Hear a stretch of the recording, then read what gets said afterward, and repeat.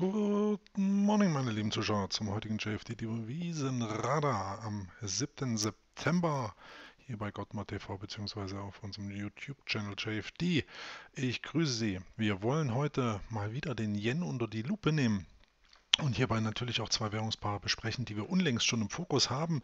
Ähm, Australdollar Yen wird gleich folgen. Schauen wir zunächst auf den US-Dollar gegenüber dem japanischen Yen, der ja auch gestern aufgrund schwacher Daten aus den USA gehörig unter Druck kam. Sprich, der Dollar hat hier eine, ja, ich will sagen, eine grobe Kelle erfahren. Tatsache aber ist, der US-Dollar-Yen bleibt im Abwärtssog. Wir sehen hier ja die Top-Bildung seit Ende 2014 über 2015 bis eben hin zu 2016 mit der Unterschreitung des Levels hier um ja, 116,50 etwa. Das Level konnte hier im Januar zunächst verteidigt werden, aber im Februar schlug dann der Bär sozusagen durch und das führte hier zu dem, was wir seither sehen, nämlich eine entsprechende Schwäche beim US-Dollar und Stärke beim japanischen Yen. Das auch hier mal rein im Yen-Index mal visualisiert. Wir sehen hier sozusagen einen Querschnitt des japanischen Yens gegenüber diversen Währungen hier sozusagen in einer Darstellung, die uns erlaubt, den Yen mal sozusagen als Währungskorb zu betrachten. Und da ist sehr schön zu sehen, dass wir eben hier nach einer jüngsten Schwäche im August jetzt hier wieder Stärke erfahren. Ja, hier der September, die letzten Tage hier wieder geprägt durch anziehende Notierungen. Und das war ja auch die Annahme, die wir im Prinzip hier favorisiert haben. Im aktuell sichtbaren Wochenchart sehen wir jetzt eben hier die grobe Kelle seit Montag. Also letzte Woche ging es hier noch nach oben, dann aber hier exakt an dieser Trendlinie im Abwärtstrendkanal auf Wochenbasis das Währungspaar nach unten gedreht. Das ist schon sehr vorbildlich, aber hier im Tageschart hatten wir auch das Setup sehr schön kreieren können. Abermals scheiterte das Währungspaar, und das hatten wir schon mehrfach, die Situation hier geradezu idealtypisch die Wiederholungsmuster das Währungspaar scheiterte tatsächlich an dieser Trendlinie, an einem Fibonacci-Level und erschöpfte sich sozusagen. Damals hatten wir das Ganze auch noch mit den Heike-Nashi-Kerzen dargestellt. Schauen Sie dazu einfach eins der letzten Devisenradar-Sendungen, können Sie auf dem YouTube-Channel, wie gesagt, leicht erfahren. Und damals ging es eben hier um diese Art Doji-Kerze, diese Unsicherheitskerze, neutrale Kerze, die uns hier schon nach Trendfolgeprinzipien der Heike-Nashi-Kerzen eine gewisse Schwäche andeutete. Und genau das ist auch passiert und insofern, ja, vortreffliche Bewegung. Jetzt muss man sehen, sehen, wie weit es eben reicht für weiterfallende Preise. Und ja, der Tendenzpfeil zeigt es ja schon an. Wir sehen im Prinzip hier die Möglichkeit, dass wir nochmals die Marke von 100 Yen ansteuern und dies natürlich bekanntermaßen wieder die Interventionsmarke der japanischen Notenbank, der Bank of Japan. Jetzt wird man dann sehen müssen, wird hier nochmal interveniert, verbal, aktiv, das wird, bleibt mal abzuwarten. Letztlich denke ich mir, von diesem Level kann erneut eine Gegenreaktion starten, aber eins ist Fakt und das sehen Sie. Wir haben jedes Mal hier seit langer Zeit immer tiefere Hochs ausgebildet, ganz klar nach Markttechnik, ein Abwärtstrend, auch das Rainbow-Prinzip, wie zuletzt schon mal gezeigt. Ich visualisiere Ihnen nochmal kurz den Rainbow im Sinne des Momentum des negativen Momentums hier ganz klares negatives Momentum. Also trendfolgend ist die Lage hier sichtbar denkbar, dass es eigentlich früher oder später zum Bruch der 100-Yen-Marke kommen müsste. Und wenn das passiert, meine lieben Zuschauer, dann wissen Sie, haben wir hier auf der Südseite Spielraum bis 96,50 und 94 Yen. Das hatten wir unlängst mal im Wochenchart auch definiert. Sie sehen hier die entsprechenden Niveaus. Gut, Stundenbasis. Und was bleibt dazu zu sagen? Ähm, heute im aktuellen Geschehen bislang noch ein Stück weit Zurückhaltung. Wir haben Schwäche in der Nacht gesehen.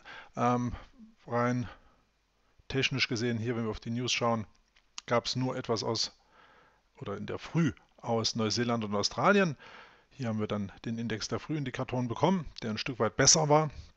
Und das hier eben auch dann die Yen-Stärke ein Stück weit antrieb. Ähm, grundsätzlich aber hier die Situation, dass wir, na komm, hochgeladen, jetzt im Prinzip schon deutlich unter dem Pivot Point sind und auch die eigentliche Daily Range beinahe schon erschöpft scheint. Äh, man muss jetzt mal abwarten, was da hier heute noch geht. Letztlich ist wieder viel Musik in der Nacht gelaufen auf Stundenbasis, aber wie wir sehen, ist es ein Abwärtstrend und sollten wir möglicherweise Erholungen sehen, dürften diese hier in oder im Bereich von 102 Yen sich erschöpfen. Man sieht hier vom gestrigen Abend und eben dem Ausverkauf in der Nacht dann hier eine entsprechende Widerstandszone, die sich auch sozusagen als Clustermuster mit den Niveaus hier aus August deckelt bzw. deckt und dass wir hier kurzfristig gesehen sozusagen mal eine Widerstandszone, die ich meines Erachtens als mögliches Level für, wenn der Preis überhaupt dahin kommt, für erneute Schwäche ansehe, sodass der US-Dollar gegenüber dem japanischen Yen nochmals in die Knie geht. Aber grundsätzlich das damalige Setup, wie gesagt, aufgegangen. Hätte man hier den Einstieg vollzogen im Bereich 103, 50, 103 oder auch mit dem Tief, dann wäre es sicherlich jetzt an der Zeit, das Risiko zu verringern, also hier den Stopp runterzuziehen, denn natürlich, wenn der Preis jetzt hier nochmal hochkommen sollte, steigt die Gefahr, dass es hier zu einer Umkehrbewegung kommt und wenn es denn, ob wir die 100 nun touchieren oder nicht, mit Abprall zu einer starken Gegenbewegung kommt, dann ist es spätestens so, wenn wir das letzte Verlaufshoch eben hier bei 104,32 überwinden, dann muss man hier praktisch die Karten neu mischen. Aber so ist es nicht, denn die Schwäche geht voran und wir schauen uns jetzt mal den Australdollar gegenüber dem japanischen Yen an, der auch hier mustergültig in den Süden ging.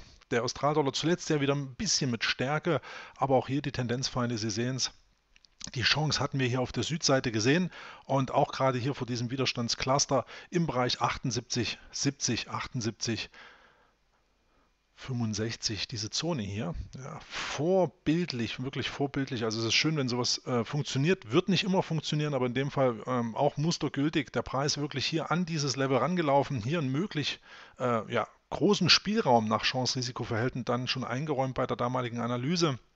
Aber der Preis hier exakt gedreht an diesem Level und Sie sehen heute die aktuelle Schwäche und es sieht so aus, als würde hier im Prinzip tatsächlich auch wieder das Niveau hier zum Brexit-Event bzw. die Zone um 75 Yen angesteuert werden und auch hier ist es so, dass ich durchaus davon ausgehe, dass wir tiefere Preise sehen könnten.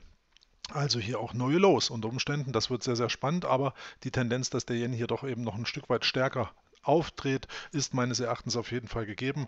Und insofern muss man hier ganz klar ähm, die Maßgabe in diesem Bereich sehen, dass das Preislevel, das Tief vom Brexit-Event hier im Bereich um 72 Yen sicherlich nicht das letzte der Gefühle war. So, denn wenn wir dieses Niveau erreichen, wird es nochmal spannend, weil wir dann die Tiefs aus 2010 haben, Schrägstrich hier aus 2011. Und sollte es da einen Durchbruch geben, mein lieben Zuschauer, oh je, dann hat der Yen sicherlich noch mehr Stärke, der Australdollar noch mehr Schwäche und dann bröckelt es hier sichtlich. Wir werden es beobachten, wir werden es kommentieren. Ich freue mich auf jeden Fall auf Sie. Wenn Sie mögen, heute Nachmittag 15.30 Uhr das JFD Devisen Web Webinar kostenfrei für alle. Einfach auf unserer JFD-Website unter Live-Events, Events aufsuchen, anklicken, registrieren und so dann werden Sie immer eingeladen. Ich wünsche Ihnen einen erfolgreichen Handelstag. Hoffe, wir hören uns bald wieder. Ihr Christian Kämmerer und tschüss.